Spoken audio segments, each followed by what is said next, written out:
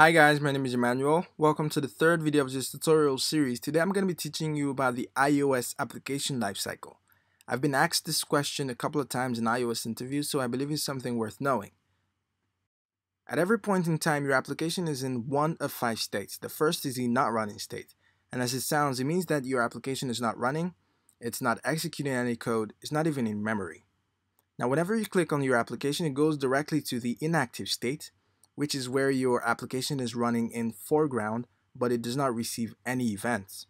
Now from here, it goes into your active state, which is what we are aware of. You can actually interact with your application here. You can click on buttons, move to different pages. So basically it's executing code and it's receiving events. Now imagine a scenario where from our foreground we receive a phone call. So what happens is your application goes directly into the inactive state, still in foreground, and the moment you're done with the call, your application returns to the active state.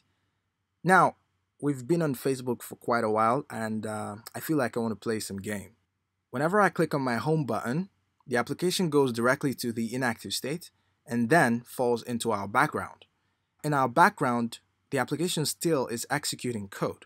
And depending on the kind of code it's executing, it can remain in the background for quite a while. So imagine that we are actually playing music and um, in background the music is still playing. So the application is going to remain in this state for quite a while. But if we aren't doing anything in the background, after some time your application is going to go directly to the suspended state. At this point, your application is not executing any code, it's just in memory. If for any reason or the other, your system needs to free up some space for other applications that are running in foreground or background, your application will probably be moved to the not running state okay? But while in the suspended state, it's possible for us to return to our foreground. If we click on the application again, it's going to go from the suspended state back to the background, then to the inactive state, and then active again. Now there's also situations where our applications go directly from our not running state to the background state and back.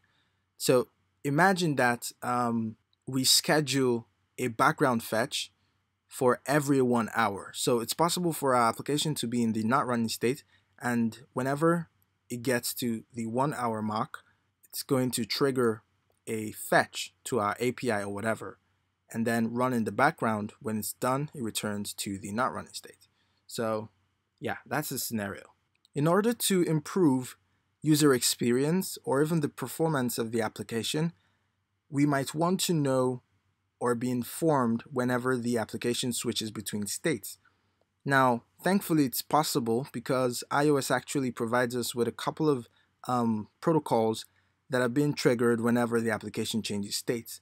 And we're going to discuss that shortly. But before then, if you haven't subscribed to this channel, please just take a second to click on the subscribe button and then turn on notification. Great. So first we have will finish launching with options and at this point the launch process has begun but the state has not yet been restored. We also have its correspondent did finish launching with options where the state has been restored but um, the UI has not yet been presented to the user. Now in either of these uh, methods we could decide to perform things like um, um, configurations or initializations. For example, if we wanted to set up push notifications, we could do that here. Next we have scene will enter foreground and this method is actually executed just before a scene transitions from the background to the foreground.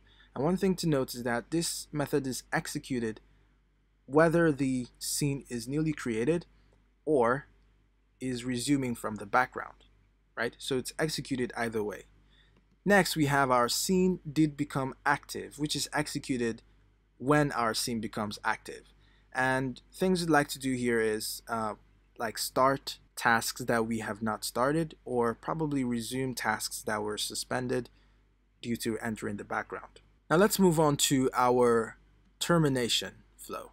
So as you can see, first we have the scene will resign active.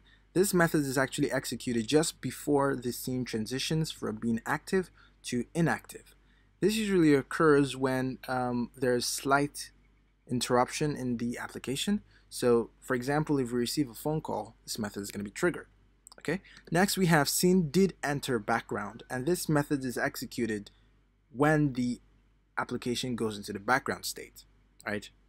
And um, usually at this point, what we'd want to do is save data or free up shared resources. So we just want to make sure that whenever we come back to the application, we have everything we need to give good user experience. And finally, we have application will terminate. This method is executed just before our application goes to rest. And uh, that's basically it. There's a whole lot more delegates that are available for us. So um, as we continue down the line, I'm sure we're going to uncover some of the delegates that we're going to need. But for the meantime, these should do. Okay? Now, if you have questions or concerns, please leave them in the comment section. If you like the video, please give a thumbs up and don't forget to subscribe.